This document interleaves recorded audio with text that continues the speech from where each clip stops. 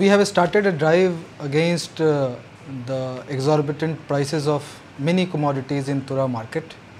We have registered a criminal case also because we have got uh, good evidence that some vested interests they are uh, forming cartels and then the price hike is not because of normal demand supply of the market but it is an artificial price hike because of many reasons these cartels they are extorting money from the businessmen who are bringing various goods from outside including the perishable items like vegetables fruit milk eggs meat fish and many other items uh, including hardware items like rod cement and other things.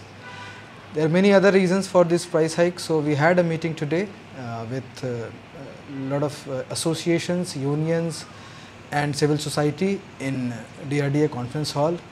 The district administration was there, the Tura municipal board was there, many line departments heads were there and we had a very thorough discussion and uh, only message I would like to give to general public is that uh, district police is aware and in co coordination with district administration and other involved agencies we will be continuing this drive so that uh, the prices are reduced the market should decide the price uh, without any undue influence from anyone. And uh, we are here to serve general public. We will be serving them. Uh, only message to the business community is they should not be scared.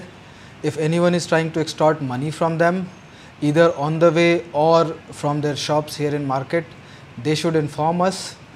The mobile number of police control room is uh, there on our social media uh, sites. We will be publishing it again.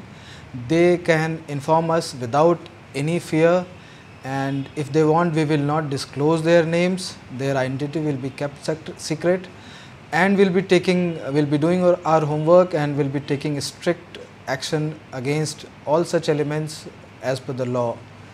So they should not be scared again I am telling uh, district police is with you and if you cooperate and help us together both of us can bring down the prices drastically I believe and that will uh, provide a lot of convenience and relief to the common man.